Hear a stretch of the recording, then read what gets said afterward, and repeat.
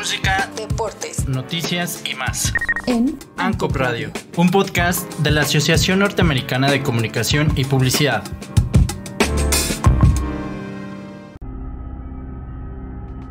Hola, ¿qué tal a todos? Bienvenidos al podcast de Gaceta MC, un programa de la Asociación Norteamericana de Comunicación y Publicidad. Yo soy Will y me encuentro muy feliz de estar aquí como siempre, trayéndote historias y noticias o sucesos que sabemos que te van a gustar o interesar. Sin más preámbulos ni dilatación, me gustaría dar inicio a esta emisión.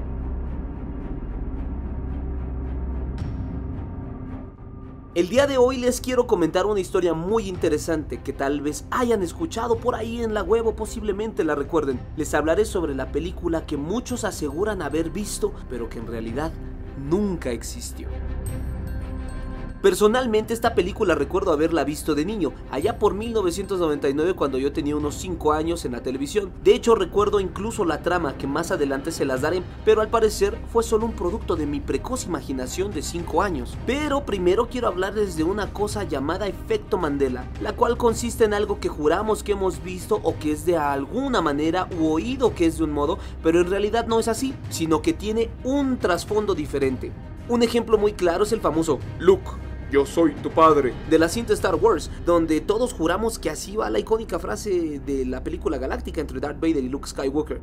Lo que no sabes es que en realidad la frase solo dice, yo soy tu padre. Como estos hay miles de ejemplos en una interminable lista de la cultura popular, pero el caso de hoy va más allá de una simple suposición, pues hace alusión a un recuerdo colectivo de personas de todo el mundo sobre una película que todos afirman haber visto, pero que en realidad nunca se filmó y mucho menos se proyectó en ningún lado. Tal vez tú conoces a Shazam por ser parte del universo cinematográfico de DC, la casa de cómics donde salen Batman y Superman. Pues de ese Shazam no hablamos, sino de uno que al parecer nunca existió. Los recuerdos colectivos se apoderan de los medios cuando recordamos algo en conjunto, ya sea el comercial de los osos Coca-Cola con los que sabemos que se avecina la Navidad, por ejemplo. De la película que hablamos, Shazam, existe un recuerdo colectivo de muchas personas alrededor del mundo, pero ninguna prueba o imagen que dé indicio de que se está hablando de algo que es verdad, de que en realidad existe. Shazam es una cinta que muchos internautas de varias edades afirman haber visto de niños, adolescentes e incluso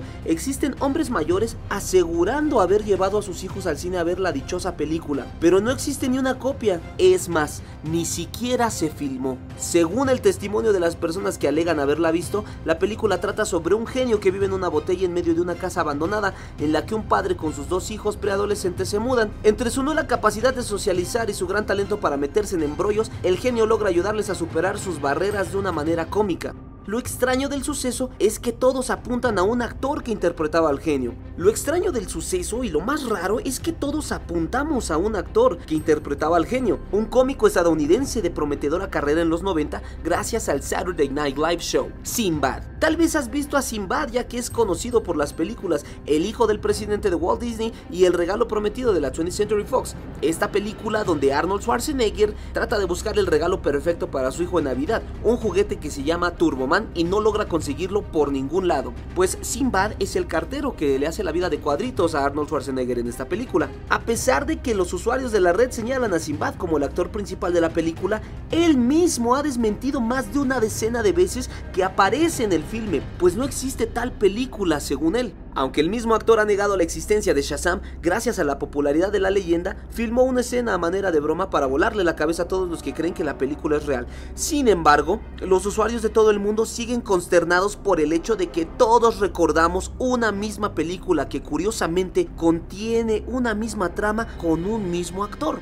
La película de Shazam se logró transmitir en el canal 7 de la televisión abierta, según los comentarios en varios foros y mi testimonio personal, al igual que en The Film Zone y TNT de televisión por cable. Algunos más aseguran haber ido al cine siendo apenas unos niños a ver la película que tenía de estelar a la promesa de la comedia, el genio Sinbad, pues ponerlo en el papel de Shazam hacía alusión a que era un genio de la comedia. Aunque ya se desmintió más de una vez que la película exista por parte del mismísimo actor, la gente no se da por vencida, pues es lógico que sea un misterio que miles de personas alrededor del mundo hayan visto una película que no existe y curiosamente todos concuerdan en lo mismo. Aquí existe algo muy interesante, lo cual también tiene un trasfondo misterioso y un tanto raro para los internautas aficionados del cine, pues existe una cinta que tal vez y solo tal vez se esté confundiendo con la que estamos mencionando. Algunos internautas afirman que la confusión puede ser por la cinta Kazam, con la estrella del baloncesto Shaquille O'Neal, donde interpreta a un genio que le ayuda a un niño problemático a comportarse mientras que él